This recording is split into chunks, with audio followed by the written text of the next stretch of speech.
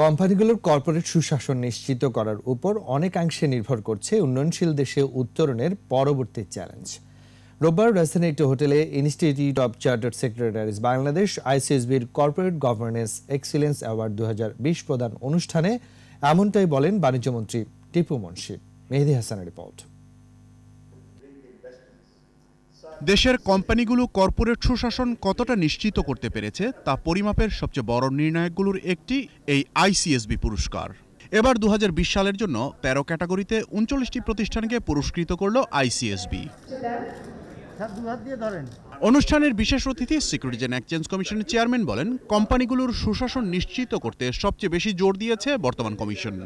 আমরা কিন্তু এই গভর্নেন্স নিয়ে সবচেয়ে বেশি গুরুত্ব দিয়েছিলাম from day one and we are so happy that one of our agenda which is which will be আজকে অনার করা হবে।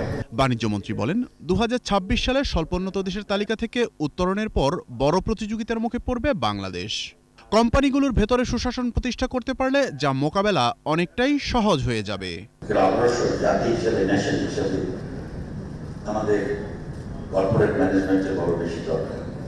এবং সেইখানে আপনাদের একটা গুড সেক্রেটারি ক্যান রিয়েলি সত্যিকার অর্থে guide company guide directors take that company up to a desire level এ সময় আইসিএসবিকে আরও শক্তিশালী করতে প্রয়োজনীয় সব পদক্ষেপ নেওয়ার আশ্বাসও দেন মন্ত্রী।